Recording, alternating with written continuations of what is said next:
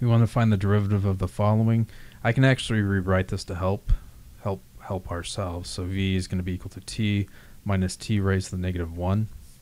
So v prime is going to be equal to the derivative of t is just 1 minus, and then the derivative of a negative 1 is um, negative 1 or negative t minus 1 minus 1. So what we end up with is v prime is equal to is equal to 1 plus t raised to the negative 2 or probably what you want is t prime is equal to 1 plus 1 over t squared. And that's it. All right, I hope this helped you out. Thanks for watching. Have a great day.